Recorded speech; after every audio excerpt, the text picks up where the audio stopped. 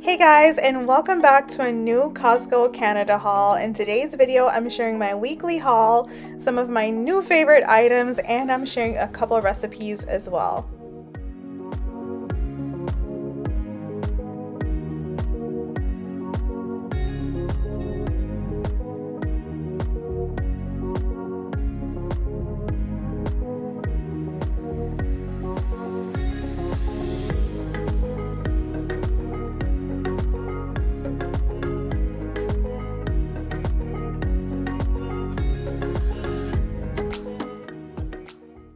This week I got two bunches of organic bananas. I was so happy these are back in stock, but they totally bruised up my bananas as they were loading my cart this go around. I don't know what happened, but it was a complete fail and that's okay.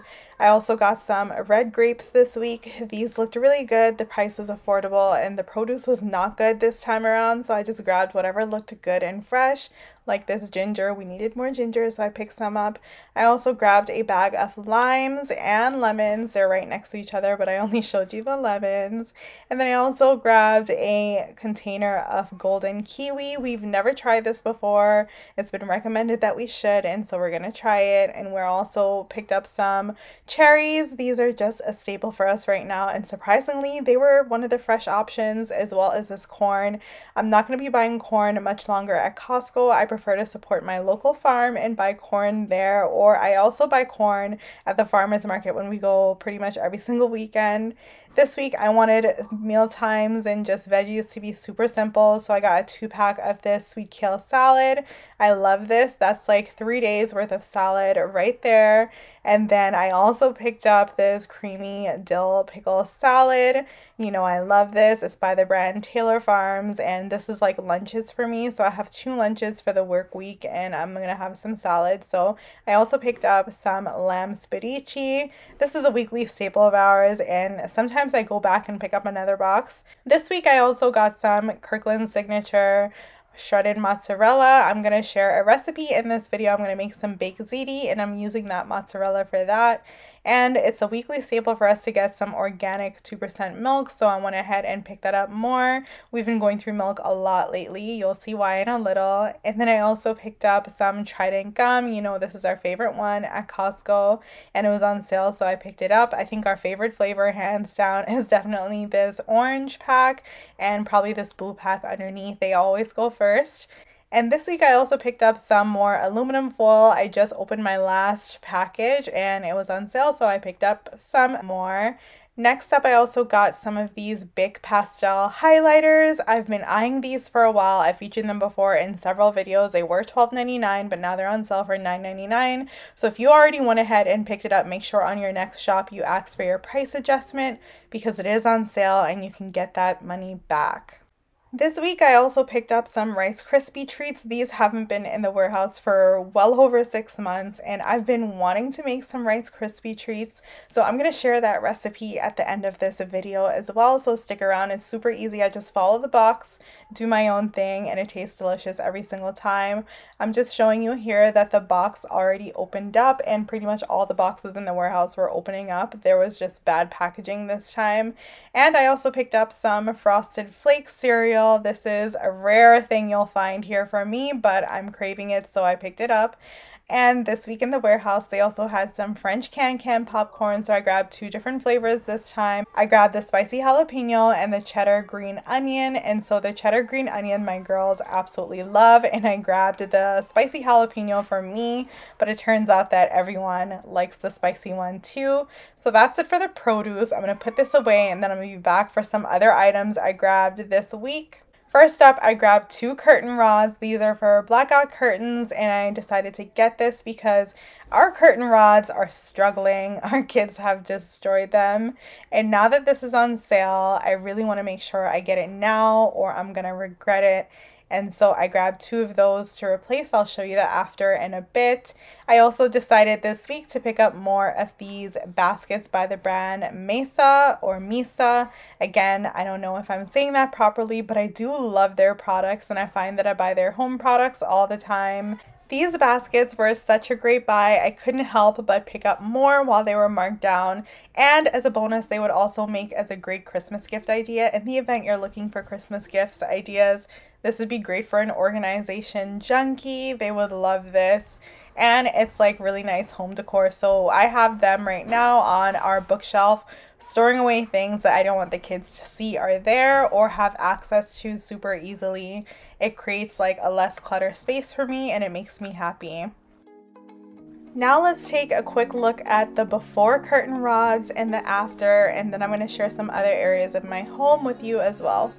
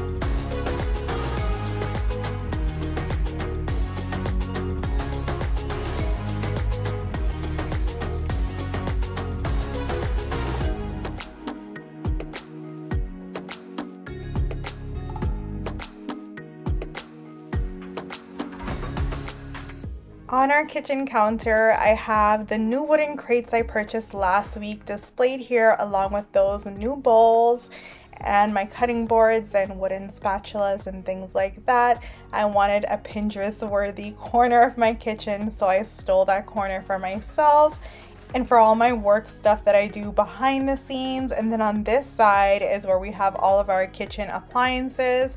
So in these crates, we have the collagen that I use. It's by the brand Organika. I love it. It's on sale this month and I've already featured it in my what's new in August video and then the greens powder is also from Costco and then these two muscle and sport powders are from Amazon that my husband orders and we have them like after workouts and stuff like that and then this crate is empty. I have to transfer some things over into it and put it up next to where we have our microwave. I also wanted to share where I store my lemons and limes and like the other produce that I want to keep fresh for a longer time. I store it in a drawer in my fridge and I find doing this just helps keep things around for a longer time, especially those expensive Coscados that we love so much. Now let's make some quick and easy baked ziti and some Rice Krispie treats that your entire family is going to love.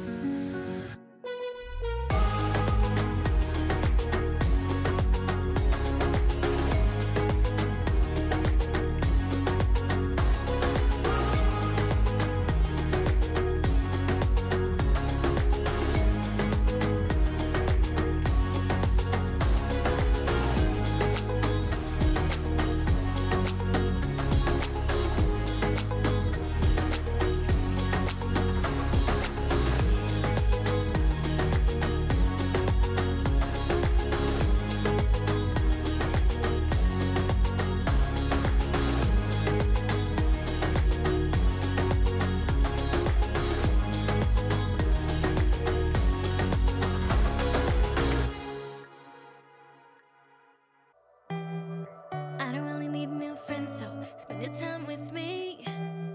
Looking for someone who can play though. Wanna hang with me. I'm not really looking for a friend, so spend your time with me. Looking for someone not afraid to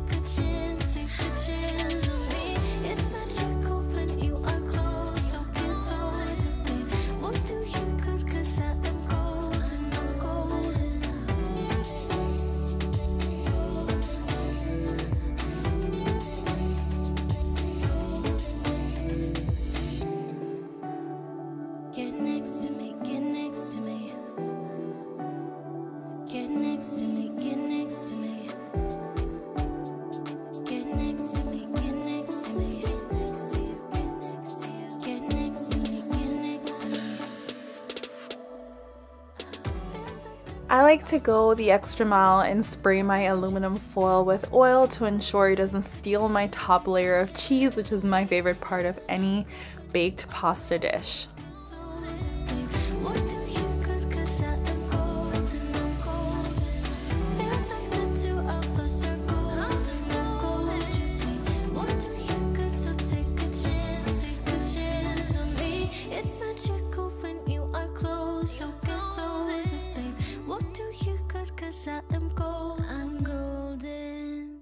I personally love making my baked ziti this way. It's just foolproof, super simple. You can even call it lazy if you want, but it's quick and easy. And it's a great way to use up the half of the ricotta cheese that you have left in a container. Or if you just have the basic ingredients, this is a great way to get comfort food without sacrificing on flavor and taste. It's just so good and I love it so much. Now let's make some homemade Rice Krispie treats. My girls and I will eat this all in two days. It's just that good and you'll never buy store-bought Rice Krispie treats again. It's so easy. You're gonna love this one.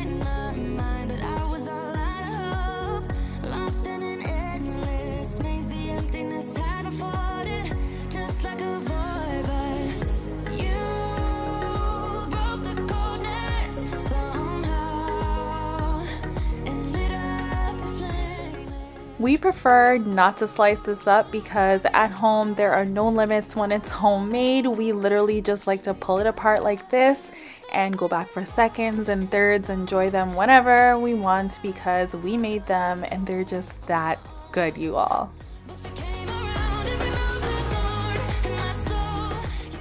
Let me know in the comments if you end up trying my easy baked ziti recipe or my Rice Krispie recipe, which is literally the recipe from the box. Thank you all so much for spending your time here with me and watching this haul. I'll see you all in my next video. Bye guys!